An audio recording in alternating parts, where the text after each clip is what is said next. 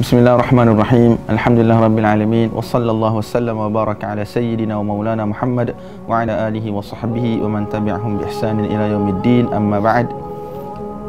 Ikhwah akhwat yang dimuliakan kerana Allah Subhanahu wa taala. Imam Ahmad rahmatullah alaih pernah menyatakan bahawasanya seafdal-afdal amal ibadat adalah ilmu pengetahuan jika benarnya niat penuntut ilmu tersebut.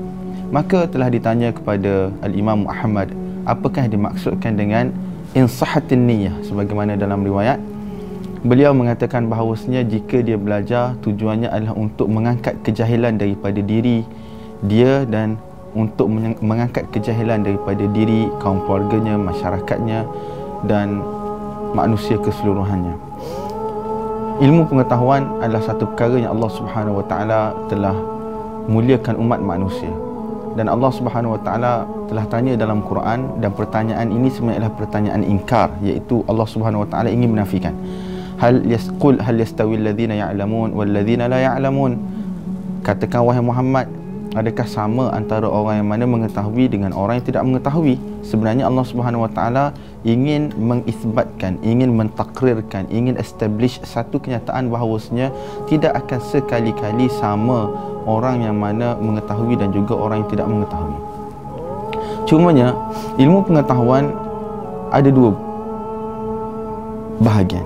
Satu yang dinamakan sebagai ilmu iaitu ilmu Alkitab dan juga As-Sunnah.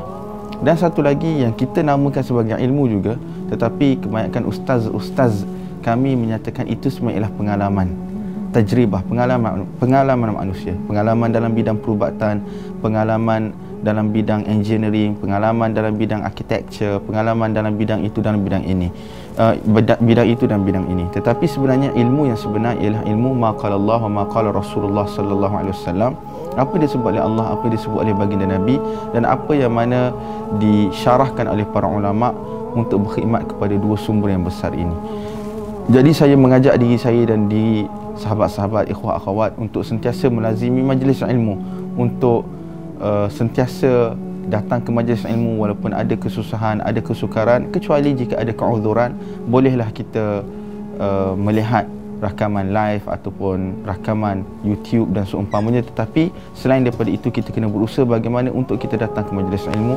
Semoga Allah Subhanahu Wa Taala menjadikan setiap langkah kita sebagai satu jalan untuk kita menuju ke syurga Allah Subhanahu Wa Taala dan menjadi pemberat timbangan amalan kita pada hari kiamat nanti dan semoga Allah Subhanahu Wa Taala memberikan kepada kita ilmu yang bermanfaat ilmu yang mana boleh membawa kepada amal ilmu yang mana boleh menyelamatkan kita di syurga, di uh, kubur di mahsyar dan seterusnya membawa kepada syurga Allah Subhanahu wa taala.